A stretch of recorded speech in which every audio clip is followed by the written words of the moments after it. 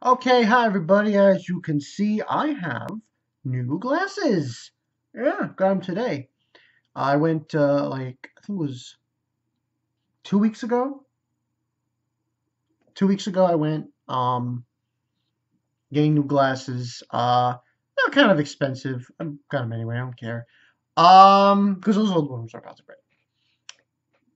This episode of JoJo's Bizarre Adventure episode 31, yo. Yo, this episode was insane. Like, ridiculous. The conclusion of Mar- Mariah. I'm going to call her Mariah. Because I can say her. I don't know if that's how you say it, but. Um, with this magnetism. Now, apparently, Avdol now is affected by the magnetism, and Joseph, and they're stuck together.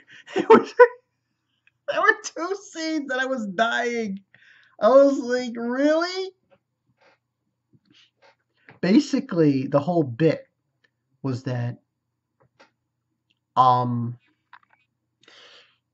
in order to separate their bodies because like with magnetism this is the truth there's the north part of it and there's the south part of it so you know how opposites attract so basically they had to move down move. So Avdol had to move his face down to the like is the lower body of um Joseph, and there was this scene where he has his face in his crotch, but it gets worse because then there's another scene where like we're free. Guess what? His front, Avdol's front, just attaches to fucking Joseph's behind. I'm like, yo. And then this like that, that woman who was at the hot spring, that old woman, like, you It was too much. Eventually they get loose. And at first I thought, with this whole magnetism thing, I didn't think um it was going to amount to anything. In other words, I don't think it was going to be like, oh, how can she kill them with magnetism? I really thought that. But then eventually, I found my answer. Uh, eventually, what happens is they end up they end up going to this area of where she's at, um, Maria, and there she's on this near this fountain, and, and she listen, she was hot as fuck. listen, she really was. Um, and they end up trapping themselves on the railroad track. And I'm like, oh, that's how she can do it. That's how she can kill with magnetism. So they have to go through this whole bit of um, getting out of that situation. And when it's on happening there, Avdol pretty much uses Magician Red and burns a hole in the ground, and they're able to stay there. And she gets really pissed off about it. And this other scene just I was like, what? Her boobs were growing. And I'm like, and I'm thinking, oh, she says, oh, it's just because your the magnetism is is very is getting stronger and stronger. And we find out her boobs aren't really growing. In her bosom, she had these nuts and she had bolts, like metal bolts you used to screw in things. And she they get fired at, and Joseph he gets hurt, and that's when Avdol using Magician Red to burn the bolts. Magician Red in this episode was so, I'm going to say this right now, so important. Because half the time, Avdol saved um, himself, and in that scene, Joseph from different things that were happening. Like Joseph's Purple Hermit came into play a few times where it was good. The other times I felt like it wasn't working. You know? But what's on happening is the whole bit was was that she couldn't stay too far away from them because if she did, the magnetism would, would be null and void. If she stayed too close, she would be entrapped by the magnetism. So what's on happening is they follow they they do a pincer attack pretty much. And she thinks she's got them they're right below power, power lines, and she uses a, a, knife to cut them.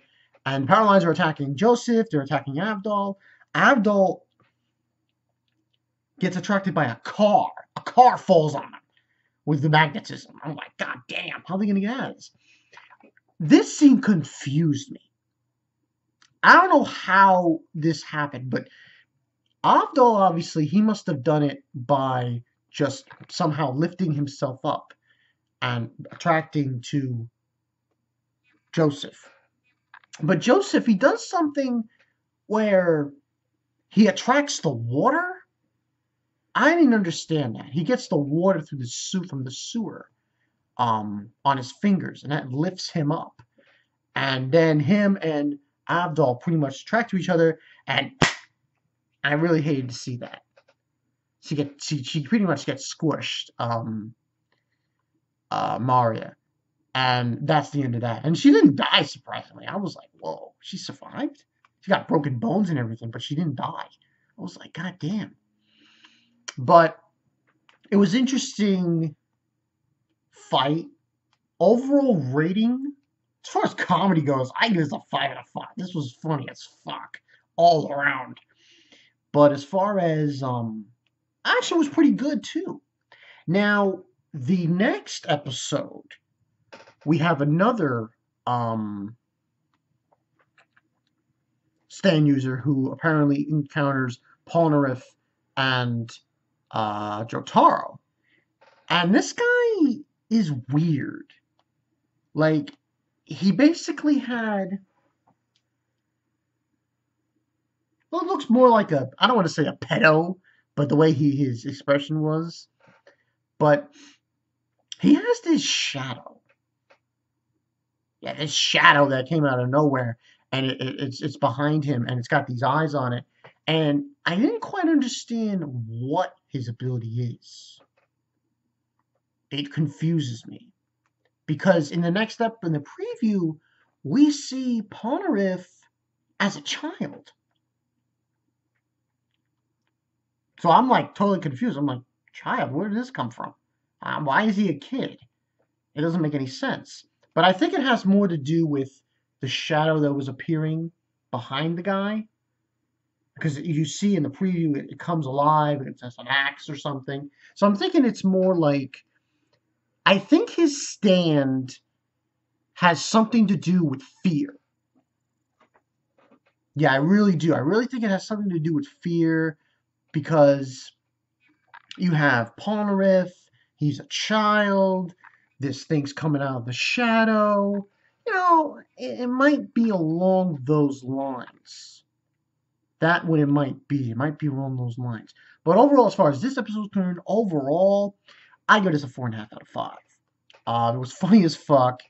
A lot of interesting action things happening, and I, this is gonna sound weird, but I am actually upset. That's how that that stand user died in this episode. Call me crazy, but she was hot as fuck, and you know, I mean, there were there was like one or two scenes where she had ugly faces. She had like an ugly face, like when she called them, you know, you pieces of shit or something. But still, like, defeat her like that. I just like, no, man. How can you do it to her? I know she was evil. I know she was evil. I know she was evil, but she was hot as fuck. True shit. She was, and and man, even she tell she even tells um Joseph that she was she was she was gonna go with him. But oh, Dio, Dio Brando, is just is just too strong, and uh, she just didn't. It's a shame. It's a real damn shame. But yeah, that's pretty much the story, people. Bankai922. Good episode of JoJo. Next week, next week, like I said, it's got me a little confused. Like, what is this guy's abilities? Because I'm like, it, it might be something of a time thing. Because why did we see Polnareff as a kid? Very peculiar. This statue is very peculiar because it's a shadow, comes alive. I'm very confused. We'll have to wait and see next week and find out what the real story behind uh, that whole scenario, that stand is about. But I think like next week might be more concerned, more concentrated on Polnareff than uh, Jotaro. They'll probably they might do what they did in the previous episodes, you know, with um, Anubis, but we'll see.